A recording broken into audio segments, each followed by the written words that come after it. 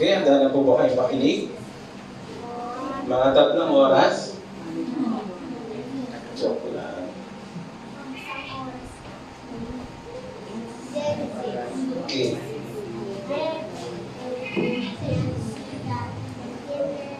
Yan po ang ating... Okay, bigyan ko lang po kayo ng background. Nandyan po sa Genesis kung paano nilalang ang lahat ng mga bagay. Okay? After ng nilalang yung mga bagay, nilalang yung tao, yung babae at ang lalaki, ang pangalan nila ay Adam and Eve. Okay? Ang Diyos ang nilalang sa kanila, no? Tapos, nag-multiply. Nag actually, nagkaroon pa sila ng mga anak, di ba? Siyempre, nag-multiply. At ang pinakakilalang anak nila, si Cain at saka si Abel. Okay? Si Cain ay isang farmer, nagtitil ng lupa. Si Abel ay isang shepherd. Okay?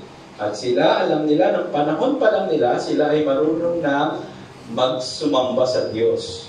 Okay? Sa pamamagitan ng kanilang mga crops, yung kanilang mga bunga. Okay?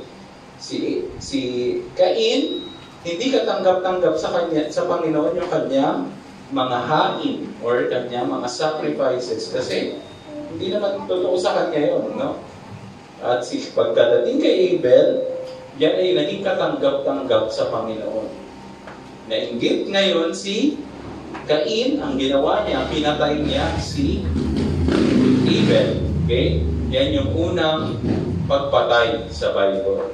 Okay? Nagkaroon yung Bible, lahat, hindi na lang lahat masaya. Isip niyo ba yun? Next week, yun yung pinakatap, next next week, yung pinakatapik natin, yung Genesis 36. Bakit yung Bible ganun? Yun din ang bato ng mga hindi naniniwala sa Bible. Okay? Yun yung pag-usapan natin. Pero bago yun, sa Genesis 35 muna tayo, tingnan natin kung ano ang ginawa ng Panginoon after ng insidente ng pagpatay. Know, balikan ko lang yung kwento natin kanina para mabig, mabig, mabigyan ko lang ng mabilis doon sa mga ngayon lang umaten. Ano? Si, si, si Cain, pinatay niya si Abel, ayaw ng Panginoon yon Okay? Sa start pa lang, sa umpisa pa lang, ayaw ng Panginoon na papatay tayo ng tao kasi yan ay ginawa sa image ng Panginoon. Okay? Parang pinapatay mo yung Diyos pag pumapatay ka ng tao. Okay? Pero mayroong tamang pagpatay. Alam niyo yun? Pwede ka ba pumatay ng tao? Depende. Kasi kunyari, ikaw ang may hatak, ikaw ang papatayin. Kunyari, gabi, kung may pumasok dito magnanakaw, papatayin si daddy. Anong gagawin ni daddy? Okay, may sinatawag tayong self-defense. Sa Bible, ganun din. Kailangan mong protektahan. Kunyari, may pamilya dito, nandito si daddy. Kunyari, nandito kami. Or mga bata lang, kunyari, si daddy, tapos yung mga anak ko nandito. Siyempre, si daddy ang pinakamatanda, siya yung poprotekta sa mga bata. Kaya kunyari, may pumunta dito mga armadong kalalakihan. Kami mga matatanda, kami magpoprotekta sa inyo. Ano gagawin namin? Paano namin kayo mapoprotektahan? Okay, maaaring lumaban kami doon sa mga taong masasama. Okay, eventually, may mga cases, mapapatay namin sila. Tama ba yun? Opo. Okay, may tamang pagpatay. Okay? Okay, yun ang gusto kong ano. Kasi ngayon, ang ano ngayon, ang notion ngayon, dapat, pag kristyano ka, dapat marunong ka magmahal. Tama naman yun. Pero dapat marunong ka rin magprotekta sa sarili mo. Okay? Ano, balansi ang Panginoon pagdating sa gano'n. Okay? Now, in that case, yung, yung pagpatay ng walang walang tamang kahulugan or kabulungan, yun ay mali. Okay? Ganun ang ginawa ni Cain kay Abel, no? Siya ay naingit lang, pinatay niya si Abel. Eh, dapat, mas maganda, sumunod na lang siya, no? Ayusin niya yung kanyang relasyon sa Panginoon at maghain siya ng tama sa Panginoon. Yun yung tama niya dapat ginawa. Hindi siya maingit doon sa naghahain ng tama. Okay, nagets nyo? Okay, na in that case, dumami na yung mga tao, Okay? Nung dumami yung mga tao, yung mga tao, hindi siya papunta sa mabuti. Okay? Sabi doon, sa Romans pa lang, sa Romans 3.10, sabi doon, There is none righteous, no, not one. As it is written, There is none righteous, no, not one. All have sinned and come short of the glory of God, sabi sa Romans 3.23. Yung tao hindi pabuti ng pabuti no, sa kanyang sarili. No? Yung bata, okay? Di ba ang cute-cute ng baby? Sino nagkaroon ng baby dito? Sino mo walang baby da? Lahat tayo, di ba, nakakita tayo ng baby. Yung baby, ang cute-cute, ang sarap halikan. Pero pag lumalaki na yung baby, mamaya, mamaya, maya, nagsasalita na yun ng masama nagmumura, and so on and so forth. Hindi yung pabuti ng pabuti. Okay? Because of sin, yung sin daw, lalo yung nagiging, lalo tayong nagiging masama. Kung hindi tayo aayon sa Panginoon, kung sa sarili lang natin, ang, hindi tayo pa ganun. Yung ugali natin, pag-downgrade pa ganun, pababa. Kasi nga natural sa atin ang kasalanan. Okay?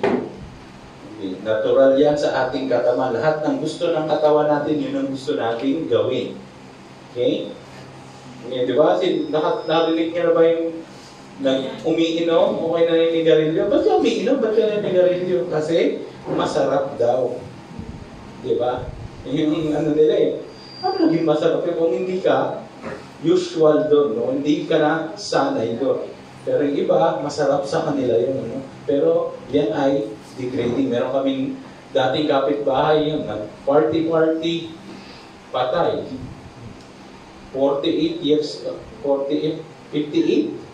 58 years old? 58 years old lang, patay na siya. Okay, wala pa, hindi pa umabot ng 60. Tapos yung naladaanan namin doon, party-party, 33 years old, patay na. Okay? Eventually, ang tao ay downgrade at nagalit ang Panginoon kasi yung tao, ang nasa isip na lang niya palagi ay masama. Okay? Na bago pa nangyari yun, yung tao, nagyabang muna sa Panginoon, nagtayo sila ng malaking tore. Before pa noon, no? Pero, yung tao, pa-downgrade muna. No? Nagalit ang Panginoon. Okay?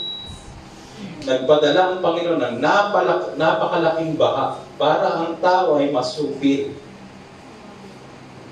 Okay? At natira lang doon sa mga tao na nabuhay ng panahon na yun, yung sumunod sa Panginoon. Yan ay ang pamilya ni Noe. Si Noah, yung kanyang mga anak, at saka yung mga asawa ng anak niya, at saka yung asawa niya. Bali, eight silang tao lang na natira. Dumami uli yung mga tao, nagyabang uli ang tao, gumawa naman sila na rin ng tore. Okay? Tower of Babel, gumawa sila ng malaking tore para umabot sila dun sa Panginoon. At kung bumahaman, nandun na sila sa langit. Yung ano nila eh, gusto namin umabot maging Diyos.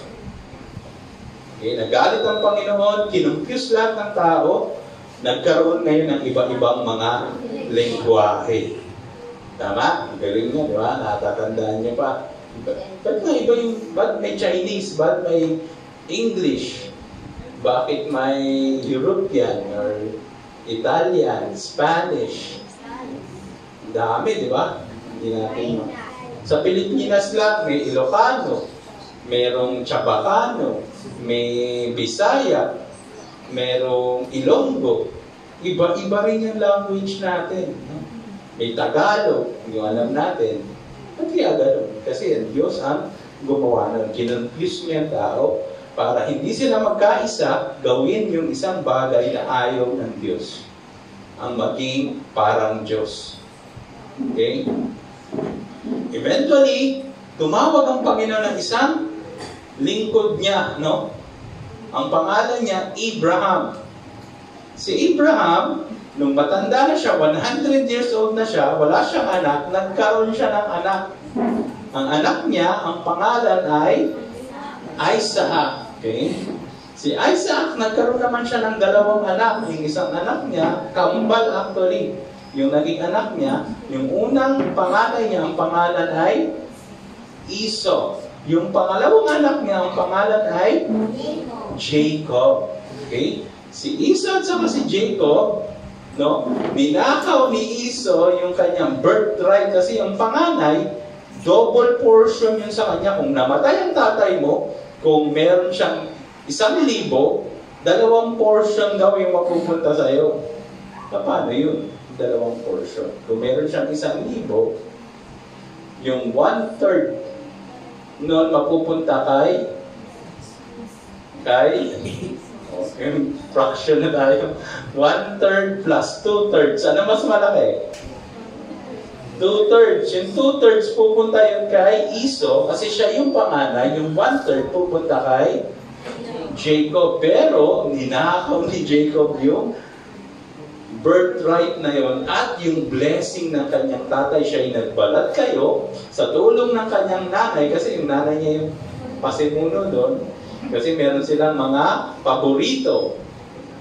Okay, kaya huwag kayong magkakaroon ng paborito. Pag kayo naging magulang, dapat lahat sila mahal nyo. Walang paborito.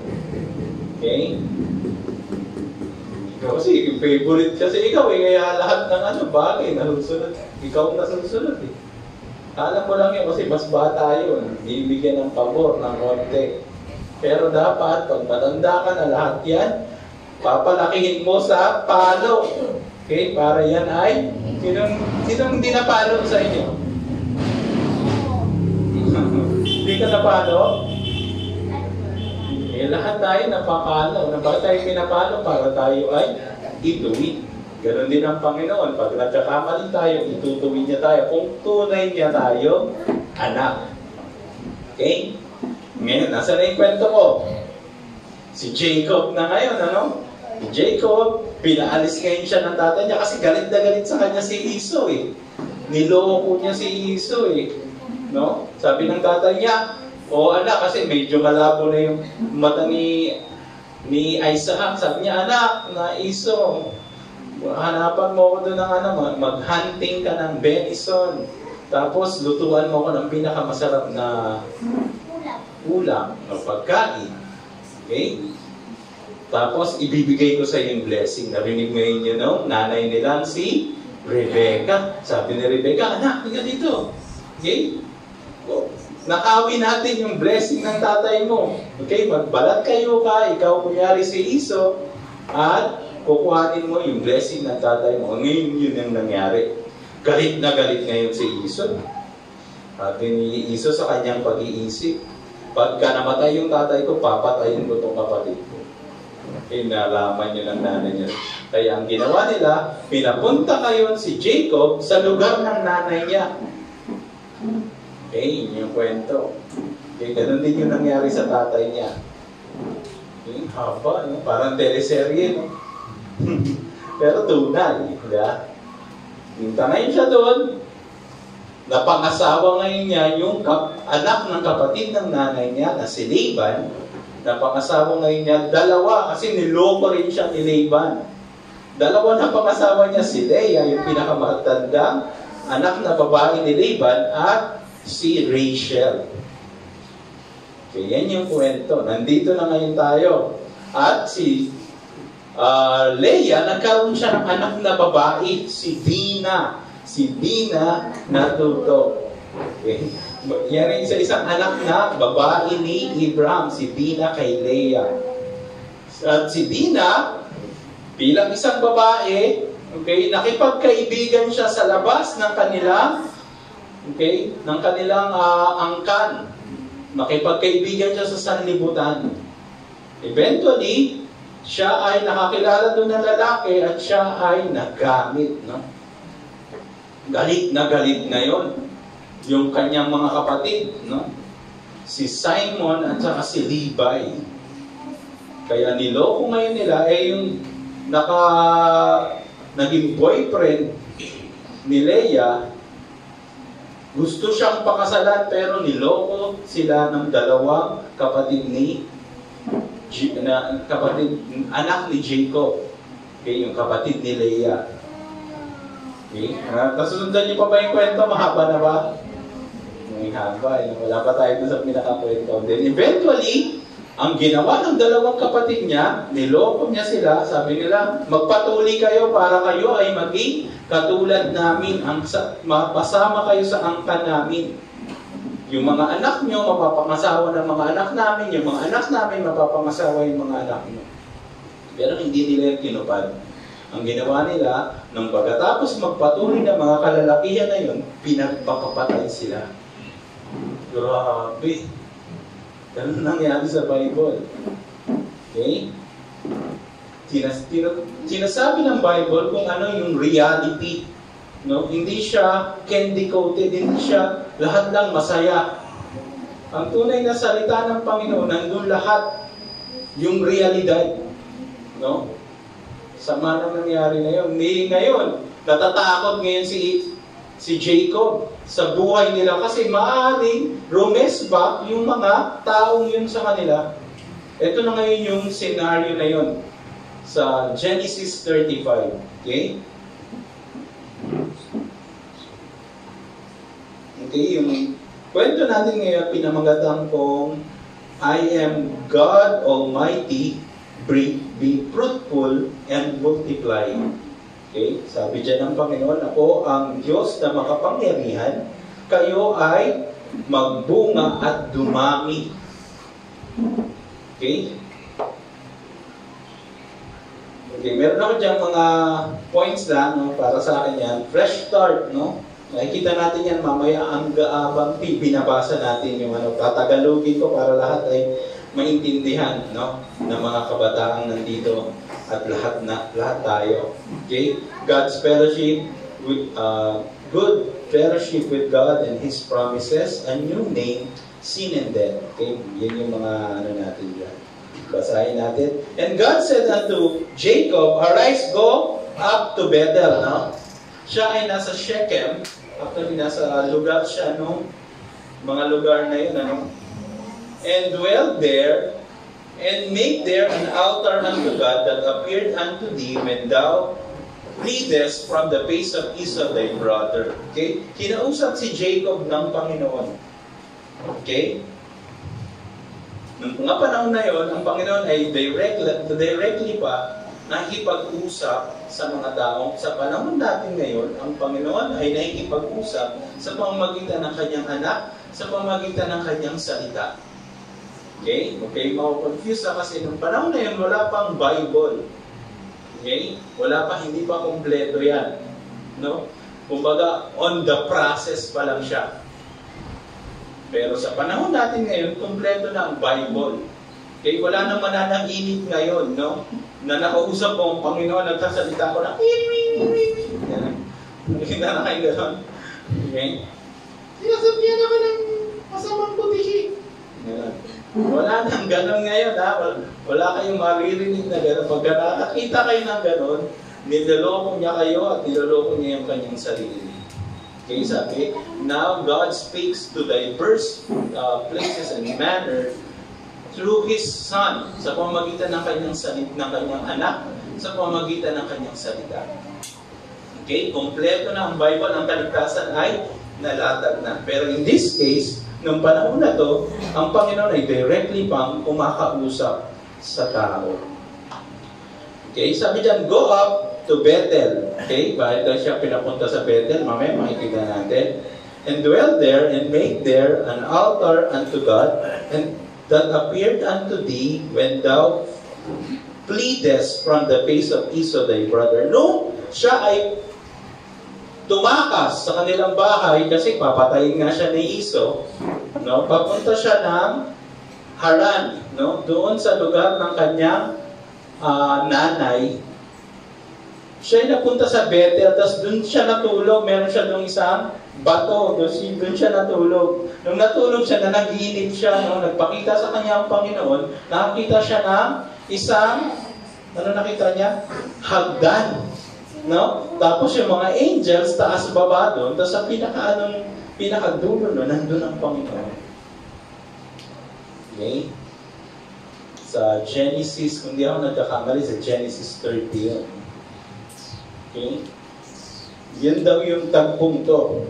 And Jacob said unto his household, and to all that were with him, Put away the strange gods that are among you, and be clean and change your garments. Okay? Pag ikaw ay napunta sa isang madilim na sitwasyon, tulad nila, no? pinatay, no? death yun eh. Pumatay sila ng mga Actually, tao, no? Ah, gusto nga ng mga tao na yon na maging parte ng kanilang hindi katawan, ng kanilang buhay or kanilang uh, lahi. Okay? Kasi nga, magkaka magkakaroon ng exchange. Pero in that case, nagkaroon ng lokohan. Okay? At patayan. Okay? Natakot si Abraham, pero kinausap siya ng Panginoon. Binigyan sila ng panibagong fresh start. Okay? Lahat tayo ganun, di ba? No, hindi pa natin nakikilala ng, ang Panginoon, hindi natin alam kung ano yung buhay natin. Hindi nga natin alam pag namatay tayo kung saan tayo pupunte. Di ba? Pero binigyan tayo ng fresh start ng Panginoon. Di ba? So, paano yun? Yung mga iba dito, hindi pa alam. Pero mamaya, share kayo ni Ate Jamie, no? Ate Jamie na lang, yung mga babae. Sino yung mga bago? Okay. Hindi pa na-sharean ng salita ng Panginoon. Okay, mamaya i-ano kayo. Yan, si, si Dana at saka si Hercel. At saka si Ate Ana para. Ah, tapos ka na na-share ka na rin. Sino? Ate ni Jana? Si Andre. Si Jana?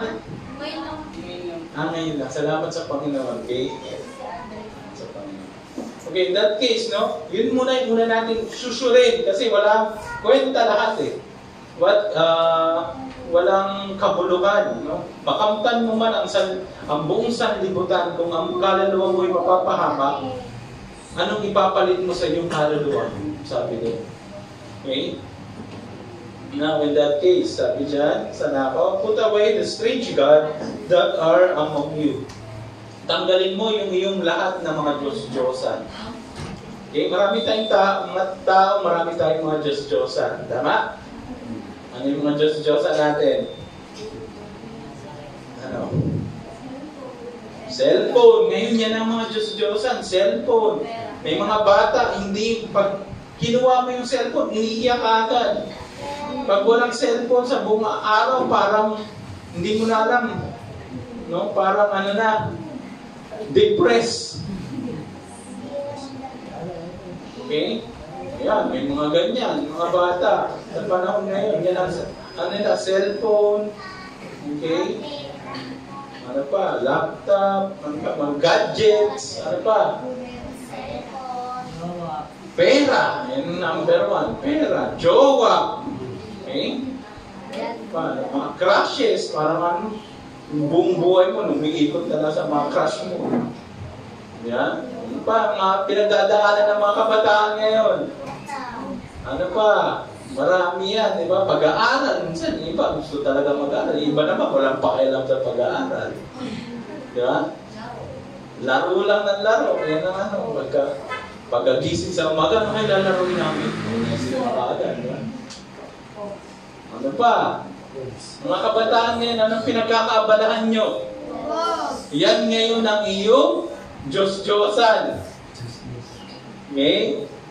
Yung iba, kasi laki naman tayong Catholic, yung iba talaga merong physical na Diyos-Diyosan. No? Nasabi ng Panginoon, huwag kang gagawa ng kahit na anong imahe sa langit, sa lupa, sa ilalim ng lupa, sa dagat, huwag kang yuyuko sa kanila. Yun ang pinakauna-unang commandment ng Panginoon. Pero yun yung uh, inaano natin, ano, ginagawa ng lahat, ng halos lahat ng mga Pilipino, marami sa mga Pilipino, devoto. Okay? Pero tayo bilang bata, meron din tayong mga maliit na Diyos-Diyosan. Okay? Dahil may cellphone, ako, number one yan. No? Yung iba, nagtatampo pa sa magulang, hindi lang mabila ng cellphone. Yung iba, winawala lang yung cellphone. Hinahagis lang kung saan saan. Mahal yan, di ba? Okay? Now, sabi dyan, sabi niya sa kanyang mga household, to all that were with him, put away the strange God that were that are among you, and be clean, maging malinis, and change your garment. Okay. Na-try nyo na maligo, tapos hindi kayo nagpalit ng damit? Ano nangyari sa'yo? Ano yung amoy mo kanina, yun pa rin yung amoy mo ngayon. Kasi pag naligo ka na, iba na yung amoy mo, amoy ka na ng sabon. Ang bango mo na, hmm, bango mo ah. Pero pag sinuot mo ulit yung damit mo kanina, ano mangyayari sa'yo? Mabaho ka pa rin. Okay? Kung ikaw ay naging kristyano, dapat ubadin mo na yung maduduming damit mo.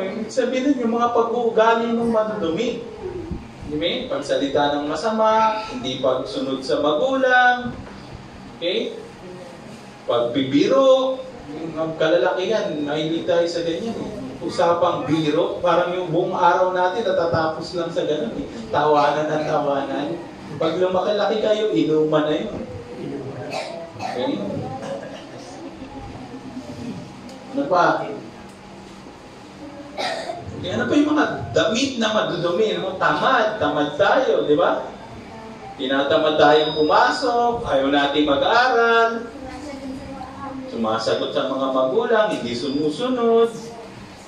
Ano pa? Nakikipag-away, sinungaling. Okay? Yan yung mga damit nating madudumi. Sabi ni Abraham, tanggalin mo yan. Kasi binigyan tayo ng panibagong start ng Panginoon. Mahirap yung gawin, pero sabi sa Okay? Sabi sa 1 John 1.9, paano natin gagawin? Paano natin yun? Unang-una, matatanggal. Sabi sa 1 John 1.9, sabi ko lang ha, sabi doon, sabi sa 1 John 1.9,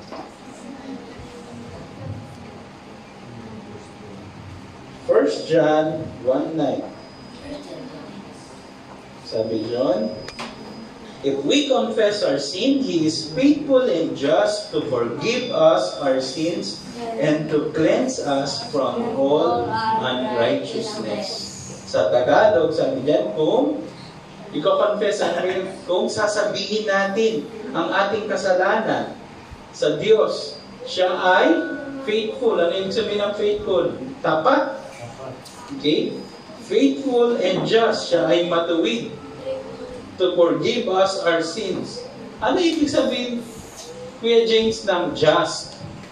Justice. May justisya siya. Ibig sabihin, pag may ginawa kang masama, may kaparusahan yun. Gets nyo? Okay. Sinabi mo yung kasalanan mo. Okay? Di ba? Kunyari, nabasag mo yung pinggan. Naguhugas ka. Palo. Okay? Nabasag mo yung pinggan. Okay, ano gagawin mo sa, ano sasabihin mo sa magulang mo? So, sorry ka. Dahil ay, sorry, nabasag ko yung pinggan. Pero may kaparusahan mo kasi yung pinggan, mahal yun eh. Hindi naman yan mura, hindi lang yung kinukuha kung saan. Maari ka parusahan ng tatay mo. Okay? O, oh, wala ka muna ng cellphone sa isang linggo. Okay? Or paluin ka.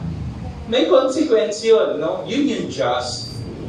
Ang Panginoon, just siya. Pag masama yung ginawa mo, paparusahan ka niya. Okay? Sabi dyan, eh, no? He is faithful. Tapat siya at siya ay just to forgive our, our sins. Ipo-forgive tayo ng sins natin, pero just siya, tandaan mo, may katapat na parusa yun. Okay? Sabi dyan, and cleanse us from all unrighteousness. Sino masarap sa Panginoon? Lilinisin niya tayo. Okay? Kung tayo ay honest sa Kanya. Sabi doon, kung if you confess, kung babanggitin mo sa Diyos. Okay, paano ka ba nakikipag-usap sa Diyos? Magdadasal ka dapat at marunong ka muna magdasal. Okay? Kailangan magdasal, kausapin ng Diyos, humingi ng tawad sa Kanya. At kung yan ay may dapat na kaparusa, tanggapin mo yon Kasi lilinisin ka niya. Okay? Tandaan? Okay. Saan na tayo? Cleanse and change your garment. Okay, linisin yung mga, ano daw yung mga garments nating madudumi? Mga pag-uugali, madudumi, masama. Okay? And let us arise and go up to Bethel, and I will make thee an altar unto God. Okay? Once na nilinis tayo ng Panginoon ngayon, masaya tayo sasamba sa Diyos. Okay, yan ang pinakamagandang relasyon, yung pataas. Kasi yung lahat ng magandang relasyon pataas, magbubunga yun ng horizontal na magandang relasyon. Pag maganda ang relasyon mo sa Diyos, maganda, okay, iuhubugin nun yung magandang relasyon mo sa iyong magulang, sa iyong mga kaibigan, sa iyong mga kapatid, and so on and so forth. Okay? Unahin mo muna yung magandang relasyon sa Diyos. Kaintindihan? Okay. Now, in that case, nasa na tayo? Sabi dyan, Who answered me in the day of my distress and was with me in the way which I went. Ang maganda dyan, sasamahan tayo ng Panginoon sa ating kahirapan at kung saan man tayo pupunta.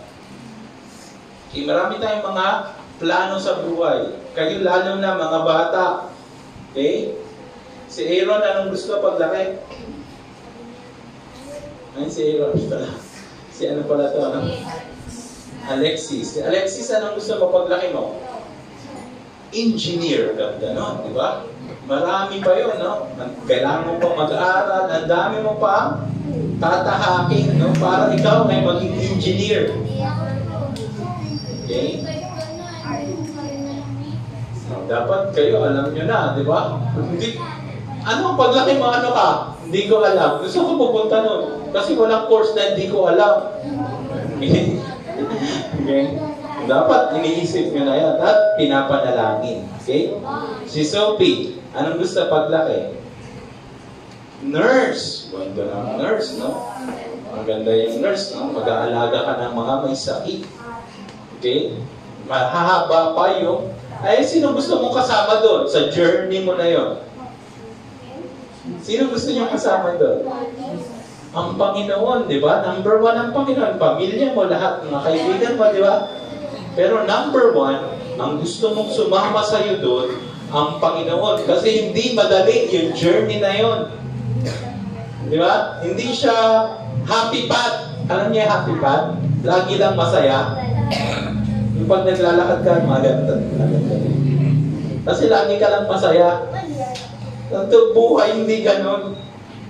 Minsan madadapa ka, masusugatan ka. Kailangan mo lang tumayo. Okay? Walang happy path. Ano yun? Uh, imaginary yun. Okay? Yung mga imaginary na lugar. No? Yung Neverland, imaginary yun. Si Peter Pan, imaginary yun. Hindi yung totoo. Yung Disneyland, nandun siya, kaso imaginary na walang ganong lugar na lahat ng lahat ng kasayahan nandun lang. Okay? Pinapatulog lang tayo nun para tayong nilalasing ng sanlibutan. Okay? Nako. Tapos, pa akong 50 minutes. Sige. Okay? Marami pa to. And they gave unto Jacob all the strange gods which were in their hand and in all their earrings which were in their ears. And Jacob hid them under the oak which was by Shechem. Okay, ano pa daw yung binigay nila? Ano yung kakaiba doon? Earrings. Okay, nang panahon nila, yung earrings kasi, yan ay simbolo ng slavery. Ayaw nilang magpa-slave doon. Okay? Pero sa panahon natin, yan ay palamuti na lang sa babae. Sa lalaki, okay lang ba may earring? Uh, gusto mo bang maging babae? Okay? Yung earring, pagpalamuti na lang. Pero nung panahon na meron niyang kahulugan. Yan ay, sila ay under ng slavery. Slave sila. Okay? Pero in that case, yan ay binigay nila yung kanilang strange God, at yan ay tinanim, no? Sa Shechem. And they journeyed, and the terror of God was upon the cities that were round about them, and they did not pursue after the sons of Jacob. Kaya nagkaroon sila ng takot. Ang maganda doon, pag sumusunod ka sa Panginoon, yung mga tao sa paligid mo, nagkakaroon ng tamang takot sa inyo dahil sa Panginoon. Okay? Ay, itong bago itong mga tao dito, bagong salta to ah. Gawan kaya natin ito ng masama. Okay? Madali kang gawa ng masama kasi bago ka dun eh. Or bago ka sa lugar na yun. Pero pag iningatan ka ng Panginoon, kita nila yung mga godly man to. Sumusunod to sa Diyos. Takot lang nila kung sinong kakanti nila. Parang kinakanti nila ang Diyos. Okay, yun ang maganda sa atin bilang mga Kristiyano. Okay? Now, tayo dyan. And Jacob came to Luz, which is in the land of Canaan, that is Bethel, he and all the people that were with him. And he built an altar, eh, and built there an altar, and called the place El Bethel, because there God appeared unto him when he fled from the face of his brother. Okay? Yun daw yung meaning pala ng El Bethel or Bethel. No? Yung Bethel na lugar, yun daw ang meaning niya, El Bethel. No? Nagpakita daw sa kanya ang Panginoon doon. Okay, but Deborah, Rebecca's nurse died. No? Si Deborah, meron siyang nurse yung kanya uh, tumutulong sa kanya ng bata pa lang siya. Okay? Hanggang siya, siya ay lumaki. Di ba? At ito ay namatay. And she was buried beneath Bethel under an oak, and the name of it was called Alobachu. Alobachu. Okay? Pangalan. Kanila kasi ganun eh, nag, nila ng mga pangalan. Ngayon sa panahon natin ngayon, ganun din, di ba? Ano yung kilala niya dito na himlayan? Yung mga maraming patay. Anong lugar po dito? Anong pangalan? Ano? Sa Lopis? Ano? Anong pangalan ng ano dito? Uh, mga him himlayan. Sa amin doon, uh, Garden of Gethsemane. Pero yung, uh, di ba? Uh, ano ba to? Uh, Mount Angels Mountain. Parang gano'n. Mga gano'n mga ano, pangalan. Mga himlayan yan eh, di ba? Okay? Uh, Valley of Gethsemane or Valley of Sympathy. Mga gano'n mga pangalan. Okay? Sa kanila, naglalagay sila ng mga names doon sa mga lugar kung saan nila nililibing yung kanilang mga patay. Okay? Paalala lang yun. Okay? uh, in that case. Then God appeared unto Jacob again, and with, when he come out of Padanaram and blessed him. And God said unto J- to him, Thy name is Jacob. Ang pangalan mo, Jacob. Thy name shall not be called any more Jacob, but Israel shall be thy name. And he called his name Israel. Okay? Napaka uh, relevant ng ano ng salita ng Panginoon ano. Kasi sa panahon ngayon natin, pinag-uusapan ngayon yung bansa Israel. Okay? Yan daw yung mga lahi ni Jacob. Okay? Iniwala ba kayo sila yung lahi ni Jacob? Okay, sa New Testament, meron tayong binago yun, no? It was changed. Okay, yung mga lahi daw na tunay na lahi ni Jacob, ni Abraham, okay, actually, Abraham, Isaac, Jacob, at saka yung 12 patriarchs, yung mga anak niya, mamaya babasahin, babasahin natin yun sa dulong-dulo. Okay? Yan ang lahi na yun. Ngayon, ang tinawag sa kanila, kasi because of this, pinangalanan silang Israel. Okay? Pero pagdating sa New Testament, yung mga tunay na Israel, yung mga tunay na lahi ni Jacob, ni Isaac, ni Abraham, through faith sa pamamagitan na ng pananampalataya, yung mga taong yun ay tayo na yun, yung mga nanampalataya sa Panginoon. Okay? Yung ko confuse kasi sila kung lahi lang sila, wala yun. Kung kadugo lang sila, wala yun. Hindi naman sila nanampalataya sa Panginoon. Sad to say, pag pumunta kayo ng Israel, sabihin mo ang pangalan ni Jesus, dudura sila kasi ayaw na ayaw nila sa pangalan ng Panginoon. Okay? Ang panalangin natin sa kanila, makilala nila ang Panginoon. Okay? Hindi natin sila ipapanalangin na, we support Israel. Marami mga ganun ngayon. Die hard fan ng Israel. Supporter ng Israel.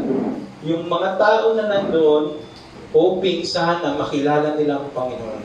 Kasi they reject God. Nireject nila ang Panginoon. Sila pa nga nagpapatay sa Panginoon. Eventually, on the future, kung darating yung Antichrist, dun manggagaling sa kanila.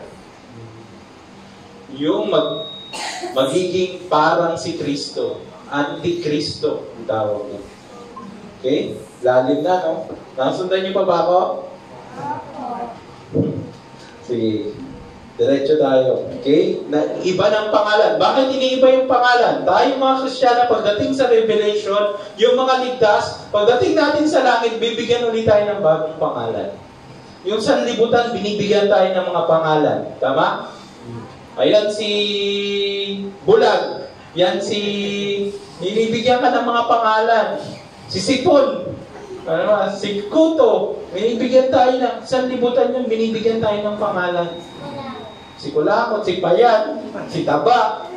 Ano pa mga, mga pangalan sa atin? Si Kulot, si Unat, si Kalbo, si Panot. Ano pa mga pangalan, di? Si Kirat, si, si Muta. No, Binibigyan tayo ng iba-ibang mga pangalan. No, para ibaba tayo, tama? Meron na ba nagbigay dito ng pangalan? Ang pangalan mo na ngayon, Superman. Kasi, Superman ka eh. Walang ganun, no? Ang palaging pinapangalan sa atin ng sanlibutan, yung depekto natin. Tama? Kung ikaw ay pilay, sasabihin, ay si pilay. Ay si pilantod. Binibigyan ka ng pangalan para ikaw ay degrade. Pero ang Panginoon, nagbibigay siya ng pangalan para ikaw ay itaas. Okay? Tandaan nyo. Okay? Kaya yung mga pangalan nyo, maganda yun. Huwag kayong papatawag na ano, Bengkoy, Budoy, ano ba? Balong. Ang kanya yung balong kasi parang ano yun, eh, nasa, ano ang pangalan na ano? JR, Junior, si Bong, gano'n yung pag, pag ano, Junior Bong eh, di ba? Madalas yan eh. Ang maganda yung mga pangalan natin. Rapi. Yeah? James. Essie. Ezekiel. Ace. Maganda yung mga pangalan ngayon. Jose. Mga mga pangalan natin. Mga babae naman. Joanne. Dea. Ano po ang pag... Complete name mo, Dea? Andrea. Ganda. Aldrin. Yeah. Si Athena. Alexa. Alexa. Yeah? Mga lahat yun mga ganda yung pangalan. Pero ang maganda, pag tayo binigyan ng pangalan ng Panginoon, itataas niya tayo. Okay, darating yung panahon na sa Revelation, bibigyan tayo ng mga bagong pangalan. We're going to have a new name in glory. Kantayin, mamaya kantayin natin yun, a new name in glory. Pinakanta mo na ba yun? Pakantayin natin yun mamaya. Okay? Bigyan tayo ng bagong pangalan. Dito pa lang tayo sa... Wala, wala na. Right?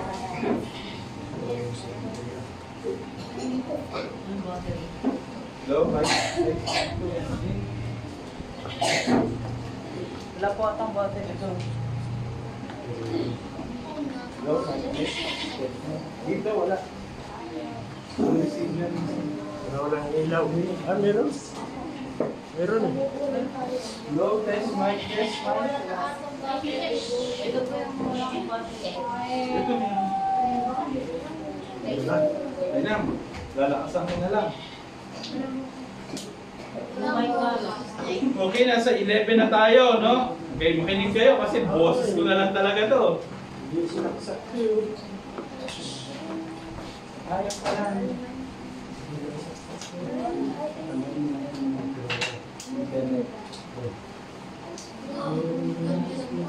Okay. 11. May speaker na pala mismo natin. No, less, less, mic, less, mic, less. Ito na.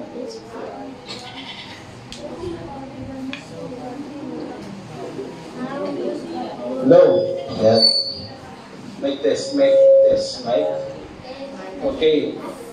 Verse 11, And God said unto him, I am God Almighty, be fruitful and multiply, and a nation and a company of nations shall be of thee, and kings shall come out of thy loins. Ganda nun, ano? Sabi ng Panginoon, ako ang makapangyarihang Diyos. Gusto ko, kayo ay dumami. Okay? Maging Ano yung fruitful? Bunga. Magbunga. Okay, paano tayo magbubunga? Okay, normally, anak or pag spiritual, paano? Itatanim natin yung salita ng Panginoon. Okay, paano natin tinatanim yung salita ng Panginoon? Binabahagi natin. Kung paano nyo natanggap yung salita ng Panginoon, ganun yung dapat natin gawin. Tama? Kasi kung walang magpapahayag ng salita ng Panginoon, walang maliligtas. Okay? Binigay yung kapangyarihan na yon sa mga Kristiyano, mga anak ng Diyos, para ipahayag yung kaligtasan ng Panginoon. Okay, naintindihan niyo ako? Okay? Wala na.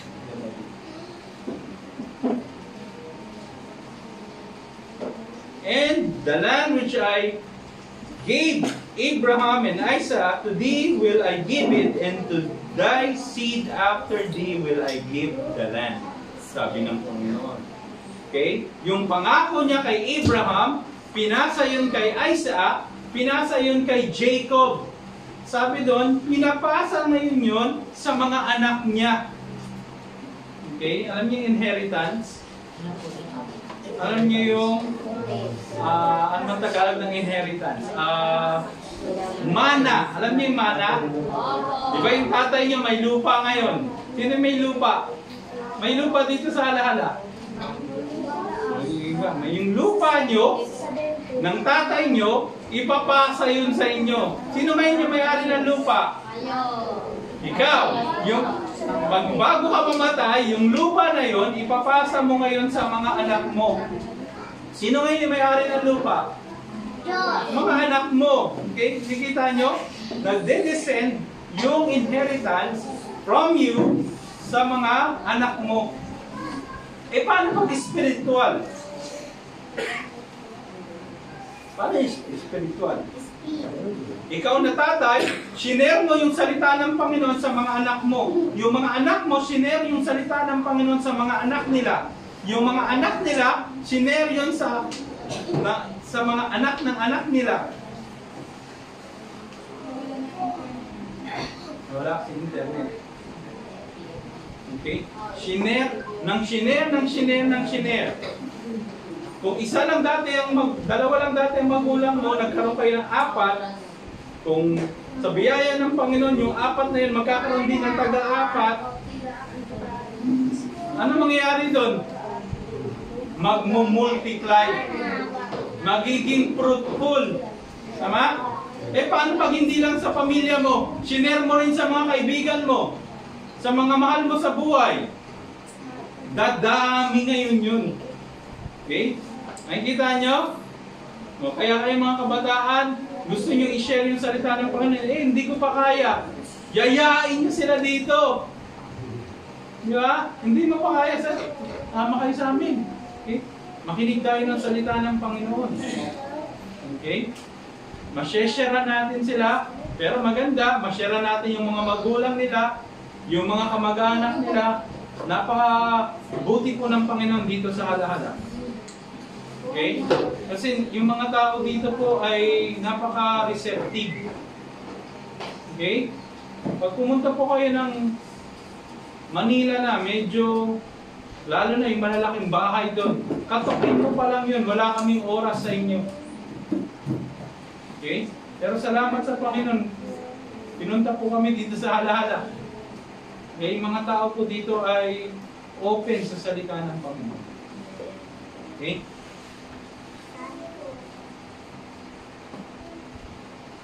And God, and God went up from him in the place where he talked with him.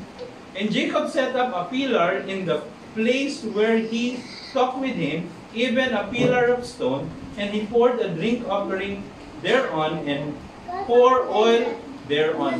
Maganda naman dito, binigyan tayo ng pagkakataon sumamba sa Panginoon.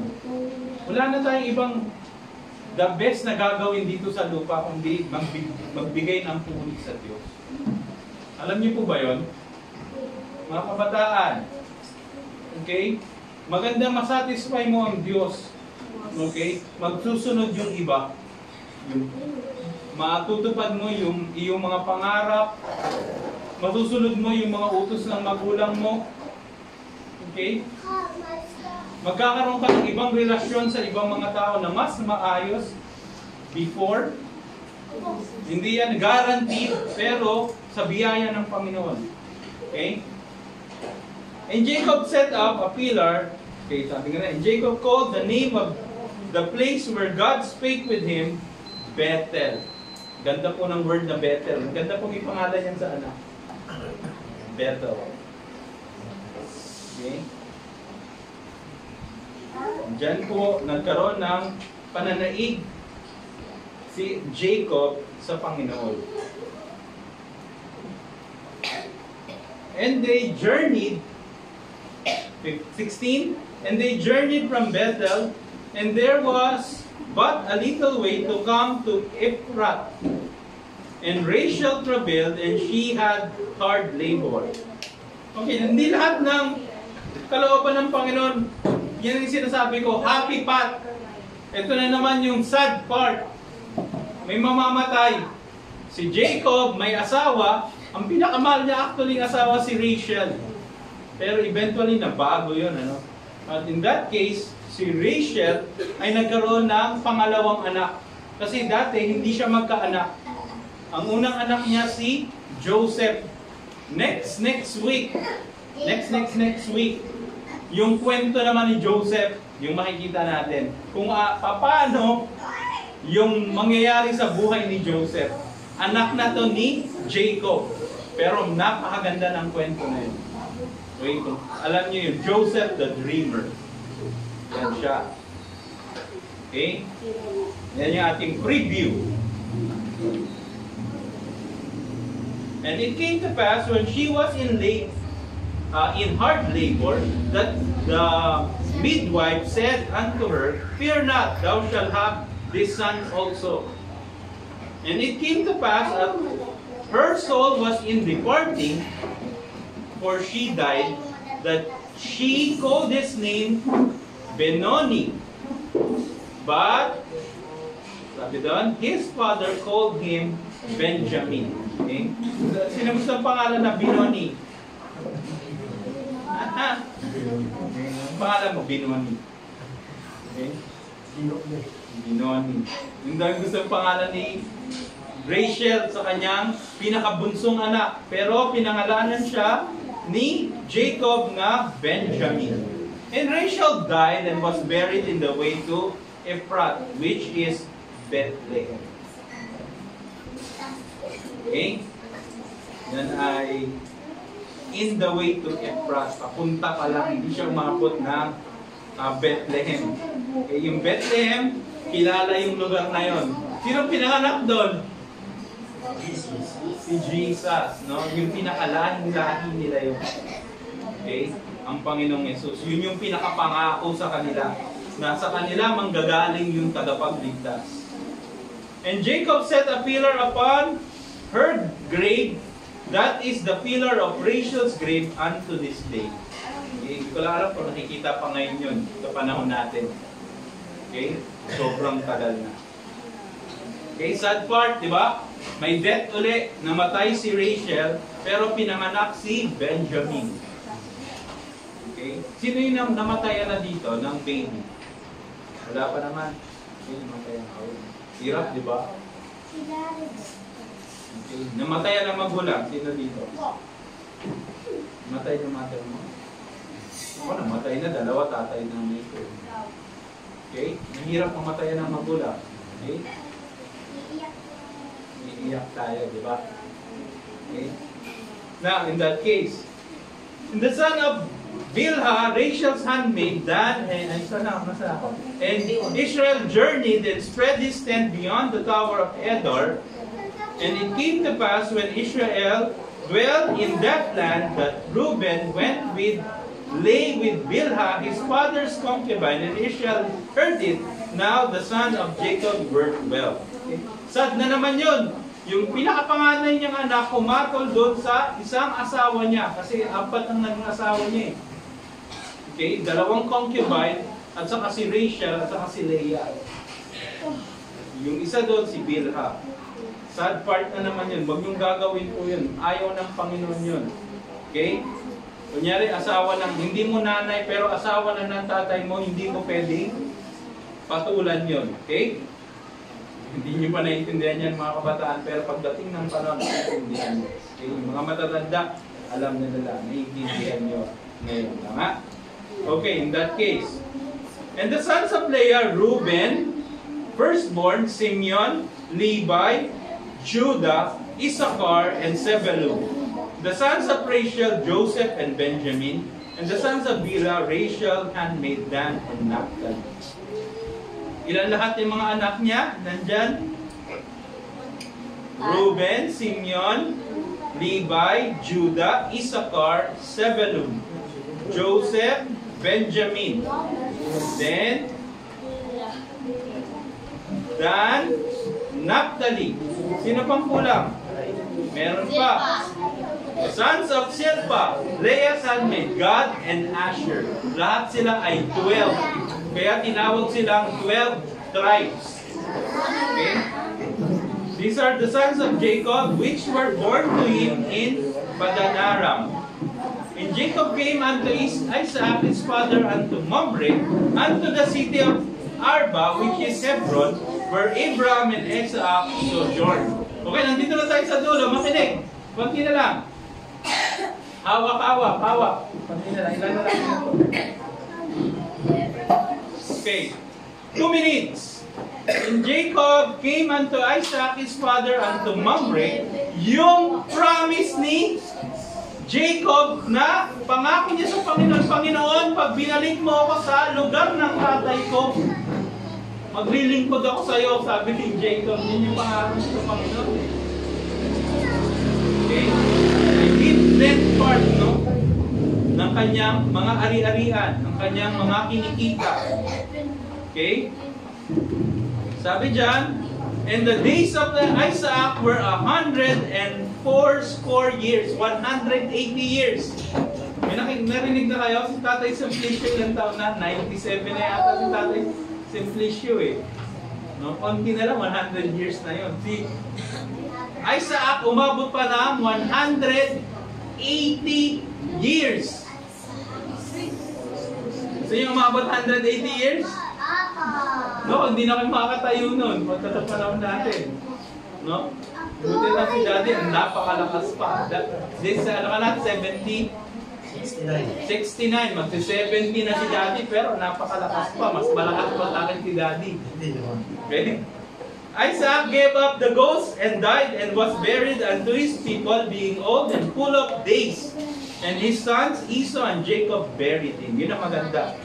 Okay? Pangako ng Panginoon sa mga taong tapat, ililibing ka ng iyong mga anak. Hindi ka maglilibing ng anak mo.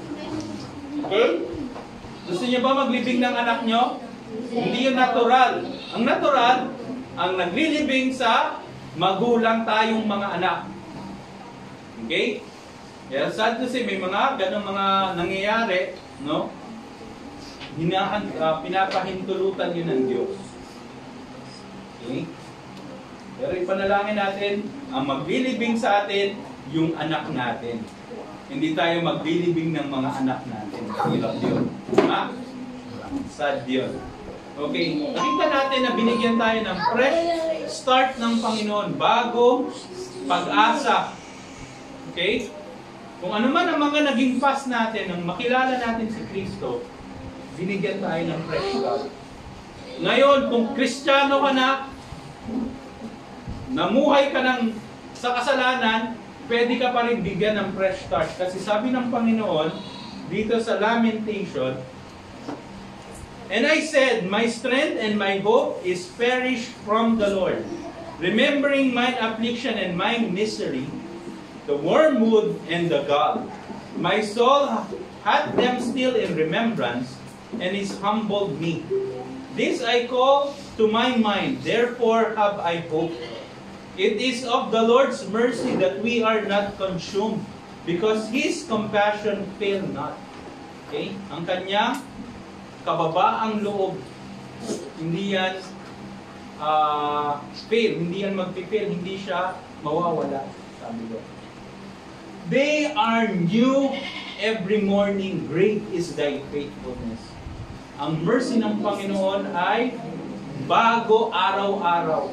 Ang kanyang pagpapatawad ay bago araw-araw.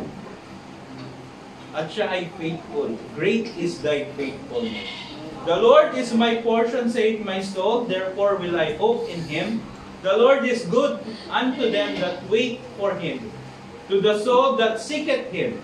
It is good that a man should both hope and quietly wait for the salvation of the Lord. Okay? Ang ganda ng salita ng Panginoon. Okay, sabi doon, they are new every morning. Yung mercy daw ng Panginoon ay bago araw-araw. Nagkasala tayo. Ngayon, kinabukasan, humingi tayo ng tawad sa Panginoon. Bago na naman ang kanyang mercy. They are new every morning. Great is thy faithfulness. Okay? Ganyan ang ginagawa ng Panginoon sa mga anak niya. Okay? Sabi nun, hindi niya tayo iiwan o pababayaan man. Yan ang pangako ng Panginoon. Tayo manalangin. Panginoon, maraming salamat muli, Panginoon, sa pagpapaalala mo sa buhay ni Jacob. Now you called it Israel. Salamat, Panginoon. Ang buhay ng naming mga Kristiyano ay hindi plato, hindi lang diretsyo, hindi happy path. Pero Panginoon, puno to ng curve, lubak-lubak. Pero salamat, Panginoon, kasama namin kayo sa aming journey. Salamat, Panginoon, na kayo ang aming binigyan ng uh, pananampalataya. Salamat, Panginoon, sa inyong mercy na nagbabago araw-araw. Kayo'y tunay na tapat. Salamat po, Panginoon, sa salita mo, patuloy na nagpapaalala kung sino kami sa inyo. Salamat pong muli sa umagang ito, sa mga kabataan, sa mga uuwi, kayo po mag-ingat sa amin. Mabalik mo uli kami next week sa inyong bahay sambahan, makinig, mag-aral ng inyong mga salita. Salamat pong muli sa pangalan ng Panginoong Yesus. Amen.